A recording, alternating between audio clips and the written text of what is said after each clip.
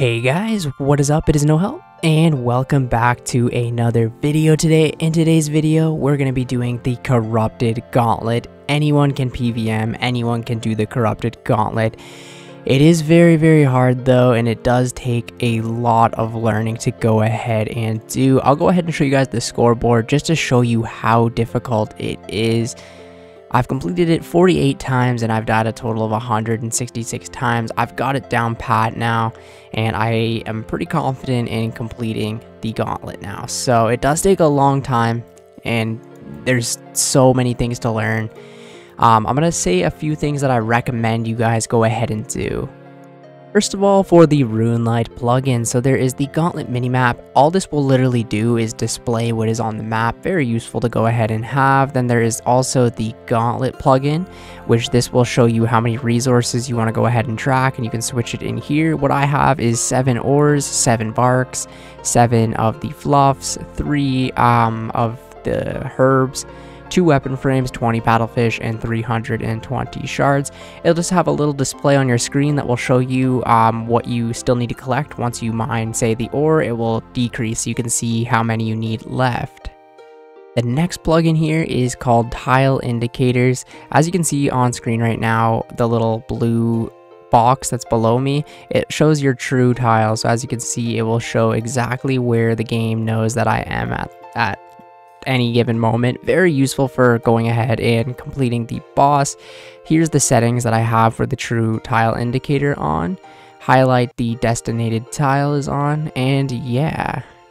One last RuneLite plugin that is extremely helpful is called the Hunllef Helper. Pretty much what you go ahead and do is the second you get into the boss room, the second the uh, attack hits you, you click start and it will just pretty much go through a cycle and tell you what to pray. So right now, um, it's saying that I'm praying range and to one, switch to mage. And then it just has a timer. If you do get trampled, you just click got trampled. It will reset the timer.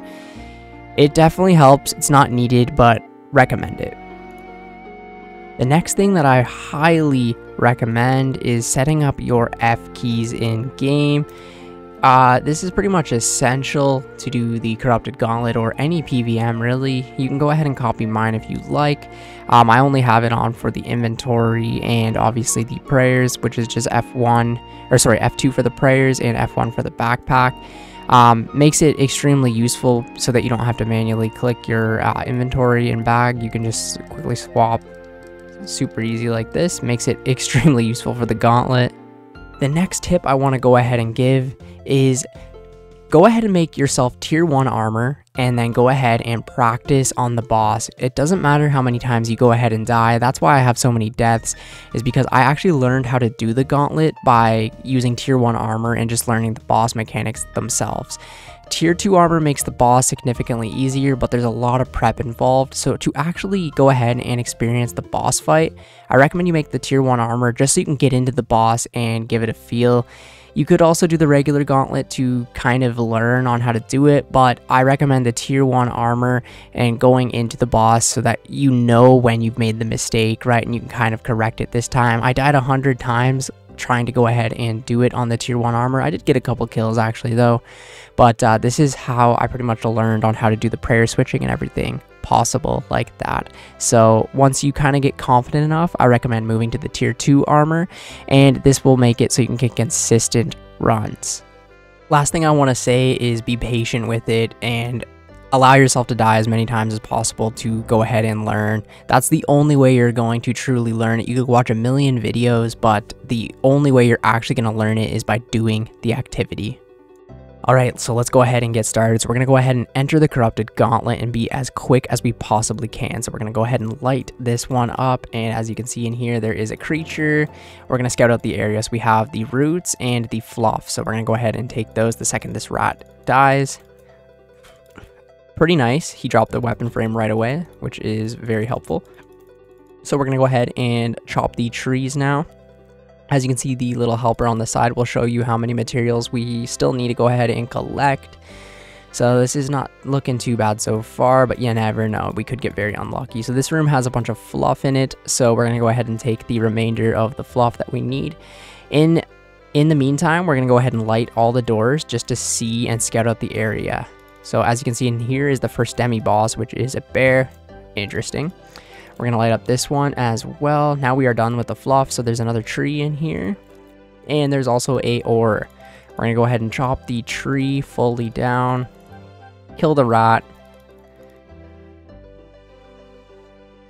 And he dropped a leaf, which is actually pretty nice. And we're going to go ahead and mine this out. We still need one bark, so what we can go ahead and do is click the bark right after this, and after that we can drop the axe, because we don't need it anymore. Head up to here, so there is some more ore in here, which is actually really nice, because we're already done the prep after this room, so we're going to go ahead and mine the remainder of the ore that we need. Perfect, and after this we can go ahead and drop the pickaxe, and we're going to pick up this other root on the way back to the main base. Sometimes I use my teleport crystal here, but uh, since we're very close to the base, I'm going to go ahead and save it. So, the first corrupted, uh, or the first demi-boss is a bear, so what I'm going to go ahead and do is make my first weapon as the first demi-boss, which just definitely helps you because, it, you know what I mean, you don't you want to try and save uh, all the materials possible, so if, say for example, we made the staff, right, then we wouldn't have... Uh, if we didn't find the the proper demi boss after that, then you know what I mean. We wouldn't get the actual uh, the full potential out of the run. So we're already messing up here. So we're gonna make some vials, fill up the vials with water, and go ahead and kill the demi boss. Okay, so now that the inventory is a little bit more clear, what we can go ahead and do is start fishing a little bit just to get some food.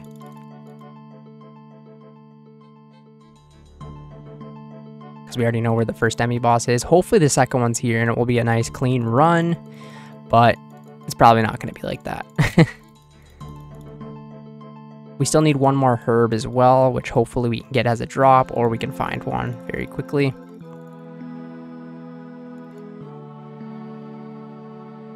Hopefully, nope, it's not in here. So there's some fish in here and then the demi boss. So we'll get the fish because we're definitely going to need some food for the final boss. Alright, so we're to go ahead and kill the very first demi-boss here. Hopefully it's uh, a quick kill. So, for 100% we will be using the halberd in the boss fight. Which is interesting. A lot of people say they, they don't like the halberd, but it actually does do a lot of damage in the boss, so it can be helpful. It is a little bit more annoying, though, to use the halberd rather than the bow or the staff, but whatever demi boss you get, I highly recommend you just take what you can get. And if you can do it while scouting, it makes it a lot easier for the run. Take the next weapon frame as well, and hopefully the next demi boss is in this room. Okay, unlucky, so now we kind of just have to run and hopefully get ourselves a demi boss. Now we can, in the meantime, make our potion Okay, so we're gonna put Pray from range on and kill the next demi boss. Make our potions while killing it to save time.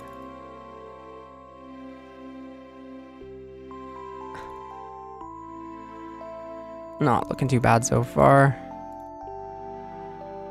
Okay, now the only real struggle that we have is shards. So you want to try and find the level 2 creatures to kill.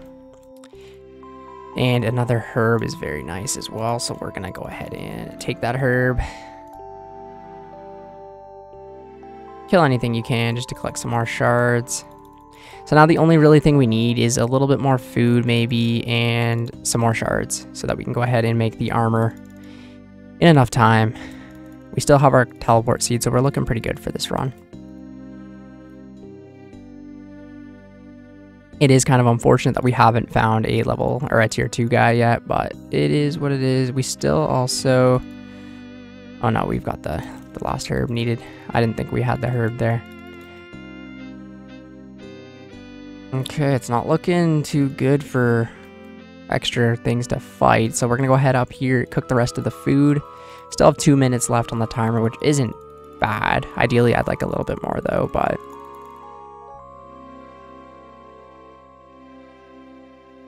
Once you cook the food, drop the food and go pick up your armor.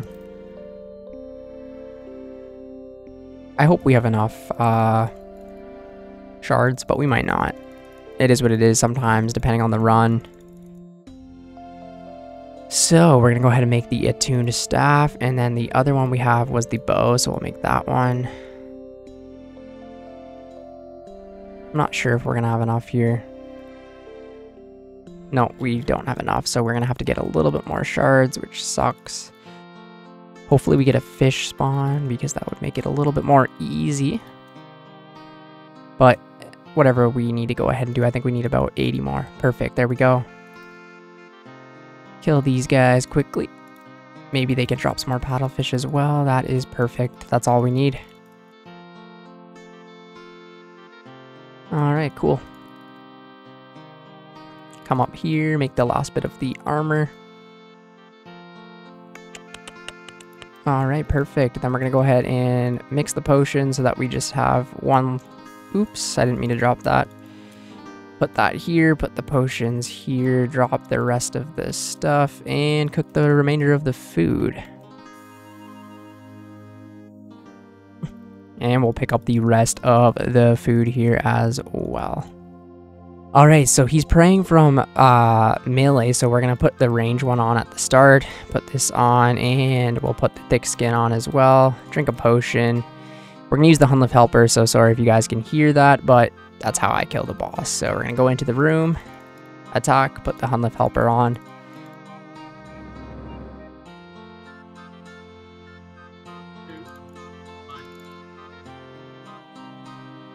Hopefully get a hit in here. Nope.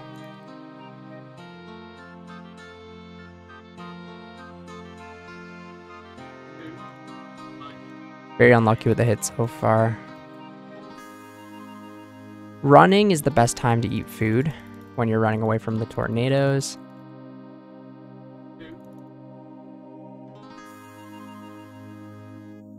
Hopefully we can land a couple uh, good hits in here. Nice.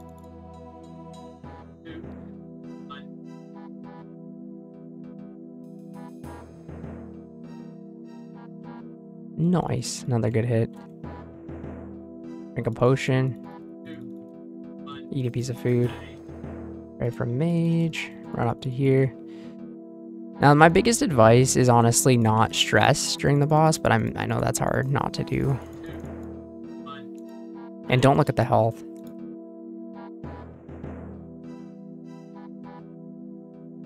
That's something that just distracts you, just looking at the health for no reason. Not too bad so far. We're a little low on health here, but we're looking healthy.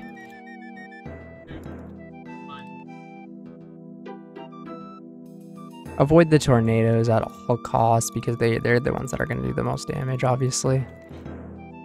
And the, the I found the tiles and the tornadoes do the most damage. The boss does nothing.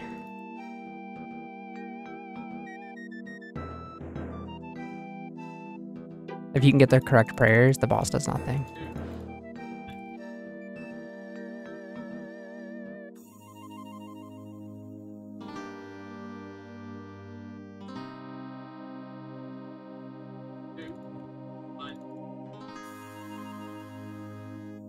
make sure you switch the prayers.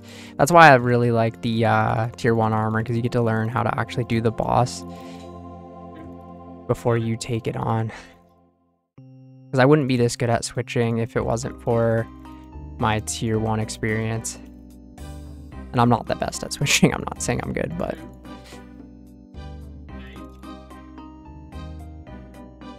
Alright. I have a really cool tip for the final stage as well, but hopefully I can get to show it.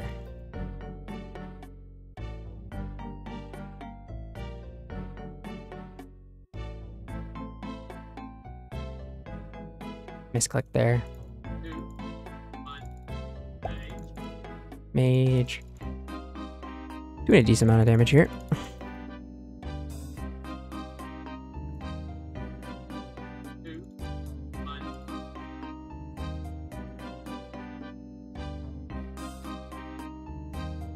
Okay, so that's kind of my advice there is when the final four tornadoes come out, you want to run sort of to the center and then they'll all kind of form into one format. It makes it a little bit easier to manage because then they're all kind of in one spot.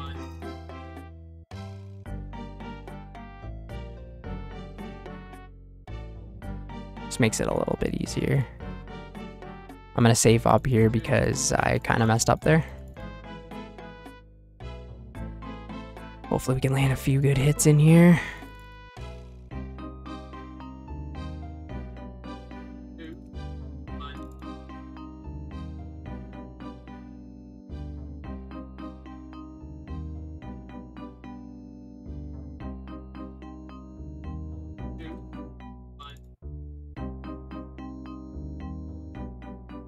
Not too bad.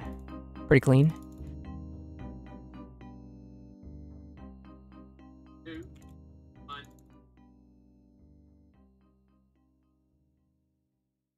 Nice hit there. Alright, so here's what I mean. Run to the center, run to the outside. You get the tornadoes off of you pretty nice. And they all kind of go into one tornado, which makes it easier to avoid.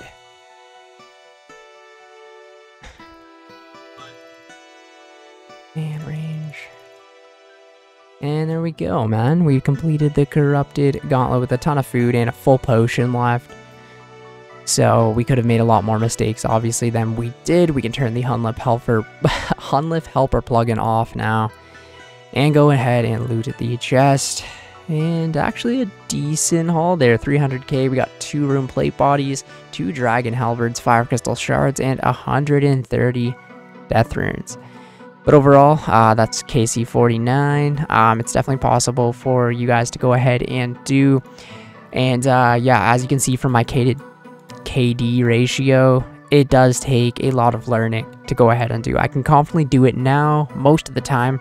I'd say every five attempts I die one or two times, but uh, I'm still learning. But uh, we can always we can only improve really from here, and uh, it it's a little bit of luck to get good spawns and get your armor and whatever prepped. But I've had runs where I've had half an inventory of food and a tier 2 staff and say like a tier 3 halberd or something and I was still able to get the kill so it is possible. If you want to go ahead and try to do the tier 1 all of the time then be my guest but uh, I use the tier 1 armor as more of a practice on the boss but uh, yeah, anyways, thank you guys so much for watching the entire video today. If you went ahead and watched the whole video, go ahead and comment the gauntlet cape down in the comments below. Thank you guys, and I will catch you in the next one. See ya later.